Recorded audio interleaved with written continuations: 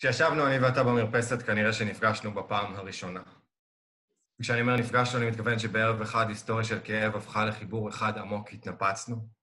פתאום לא היינו אבא ובן שמנסים להילחם על תפקידים, היינו שני ילדים, בוכים, מתחבקים, יודעים שאת הבכי הזה נבכה שוב. קראתי לך שיר שכתבתי על סבתא ועל הפחד המטורף שיש בי מהיום שהיא לא תהיה, ואתה התנפצת איתי. סיפרת שבכל פעם שאתה עולה על מטוס חזרה מגרמניה, כל תא בגוף שלך רועד מהמחשבה שאולי היא לא תהיה שם כשתנחת. אולי תפספס את ההזדמנות האחרונה לפגוש את אימא שלך. זה כל כך מתאים לך להתרגש מפספוס, אבל מול מבחן המציאות לא לעשות יותר מדי חוץ ממאמץ בדמות כרטיס טיסה וביקור חטוף בארץ. ישבנו אז אני ואתה במרפסת, התפרקה ממני השיפוטיות שאני מחזיק כלפיך בבטן, שחיה בשלום עם אהבה ענקית וכמיהה כל כך גדולה להיות הבן שלך, עם דמעות בעיניים, אתה החזקת אותי ואמרת, אני גאה בך, בן יקר שלי, בן מוכשר שלי, ואני כמו חיכיתי, ואני חיכיתי לשמוע את המשפט הזה שנים נמסתי כמו שיכולתי להינמס בידיך כשעוד לא ראיתי בך פגמים, רק לב גדול ורך, שהיום ברור לי שהוא גם סדוק, כי אתה כמוני, פריק של מימוש עצמי, אבל בפועל חי החמצה על בסיס די קבוע, רחוק מכל מה שיקר וכל כך קר שם בגרמניה, שם אתה גר, בגרמניה אתה מתקשר ושואל אם אני יודע שסבא בטיפול נמרץ. אני שותק, ונוחת בארבע, ופתאום האבא הגדול שלי הוא רק ילד שלא רוצה לאבד את אבא.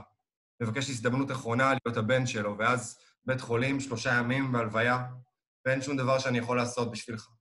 ואין שום דבר שאני יכול לעשות כשאני מרגיש מרחק חדש בינינו נבנה, כי עכשיו לי יש את מה שאין לך, יש לי אותך, יש לי אבא, יש לי אבא, יש לי אבא, יש לי אבא, יש לי אבא, יש לי אבא, יש לי מיליון תסביכי ילדות וחרדות נטישה ותסכולים על תשומת לב ותחושה שאתה בוחר בכל בחירה אפשרית חוץ ממני, אבל יש אותך ואתה, אתה סלע, אתה הר, אולימפוס יציבות, הביטחון הבסיסי, מבלי שתעשה דבר, אני יודע שיש לי קרקע בעולם, באתי ממך, כל כך הרבה ממה שאני הוא אתה, אני, חולצות מכופתרות שלפעמים אני נרדם איתן בכוונה, כי זה תמיד קורה לך בטעות, אני שיער על הידיים, בושם בולגרי עבריינים, פטמות גדולות, ג'ינס ונעלי ספורט, תיק מבולגן על הגב, אני כסף קטן נעלם בכיסים, אני לאבד דברים, אני איחורים, אני לקנות את כל מה שלא אצטרך לעולם, אני חייב שכולם יטמאו את מה שאני מבשל, אני רגיש, פגיע, חשוף, משחק אותה קול, אני, אני מסיבה, אני כיף, כיף להיות